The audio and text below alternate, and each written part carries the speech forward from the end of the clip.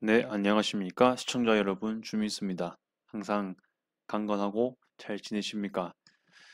네, 좀 무거운 주제이긴 한데, 내용은 좀 간단하게 준비했습니다, 오늘은. 그래서 오늘 주제는 이란과 러시아가 좀 협력을 하는 그런 게 유지되고 있는 부분인데요. 이란이 현재 러시아에게 드론 지원을 계획하고 있습니다. 이것에 대해서 우크라이나 미국이 가만히 있냐라는 주제로 간단하게 영상을 만들어 보았습니다. 이번에는 제가 BBC에서 기사를 가져왔는데요. 내용이 짧기도 한데 그 중에서도 좀 중요한 부분만 가져왔습니다. 한번 읽어보도록 할게요. 이란이 잠정적으로 수백 개의 전투 드론을 러시아에 지원할 계획이라고 미국이 밝혔다라고 하고 있습니다. 이란은 미국의 주장을 확인 혹은 부인하지 않고 러시아와의 기술, 협력이 러시아 우크라이나 전쟁 이전에 있었다라고 말을 하고 있습니다. 예, 여러분들 잘 아시겠지만 이란은 러시아랑 현재 전략적 관계를 가지고 있죠. 그래서 지금 우크라이나 전쟁이 지금 일어나고 있는 상황에서 러시아하고 아주 대치하고 있는 가운데 이란의 스탠스는 계속해서 러시아하고 접근하는 것을 계속 지향하고 있습니다. 그렇다 보니까 러시아에게 무기를 많이 또 지원해주고 있는데요. 그 중에 전략적인 아주 중요한 무기인 드론이 있습니다. 어, 그렇게 되고요. 이런 것이 지금 미국이 밝히고 있다라는 거고, 사실상 미국이 괜한 것들을 밝히지 않겠죠. 분명히 철저한 조사에 의해 가지고 나온 내용을 토대로 밝히는 것이고요. 어, 이란의 스탠스도 보면은 미국의 주장을 지금 부인하지도 않고 확인도 안 하고 있습니다. 그 말은 완전히 부정할 것이 아니기도 하고 완전히 뭔가 맞다라고 하기에도 현재로서는 뭔가 스탠스가 애매할 수도 있다는 거죠.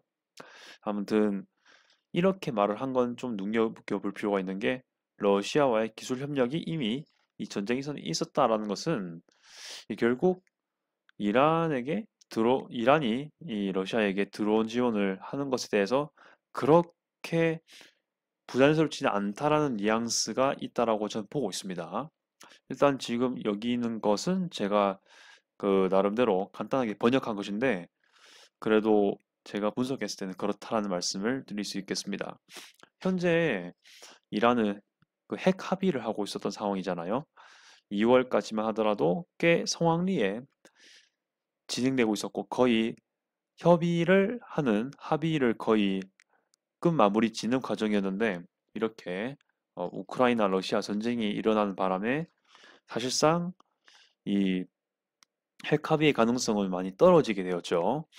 왜냐하면 계속해서 러시아를 동조했었고 그리고 이런 것 때문에 지금 유럽은 상대적으로 러시아하고 견제를 하려고 하고 미국도 역시 러시아 쪽 견제하려고 하고 있는데 이란은 계속해서 러시아 쪽으로 지금 전략적 관계를 유지하고 있고 그걸 좀 더 돈독하게 하고 있죠. 그렇다 보니까 핵 합의가 자연스럽게 되지 않고 있는 그런 부분입니다.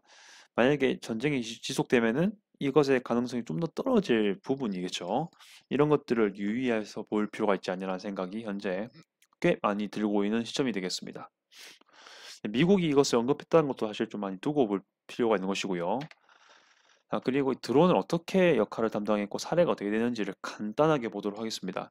일단 중요하다고 integral part라고 BBC에서 밝히고 있는데요.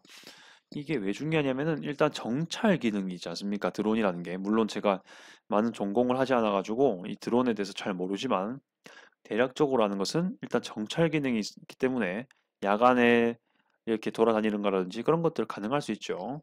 그리고 잘만 기술을 잘 쓰면 레이더도 안 걸리고 지나갈 수도 있고요. 그리고 정밀 타격이 가능하다는 것이고 무엇보다 또 중요한 거는 무인이기 때문에 드론에 사람이 타는 건 본 적이 없죠. 네, 그럼 그건 비행기가 되죠.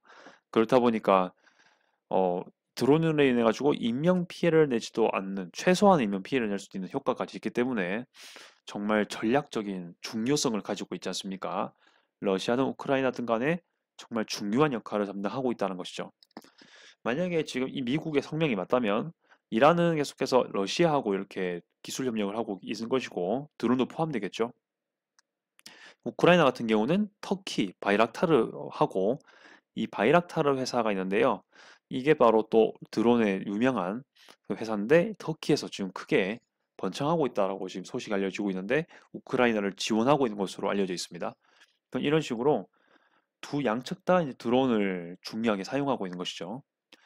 이런 것들도 주목할 만한 점이고요. 실제로 이란이 어, 제가 봤을 때는 드론 기술이 꽤 좋은 것 같습니다. 어느 정도 역할을 담당하기 때문에 후티 반군들도 역시 사우디를 배후에서 칠 때, 공격을 할 때 이란 드론을 사용하고 있습니다.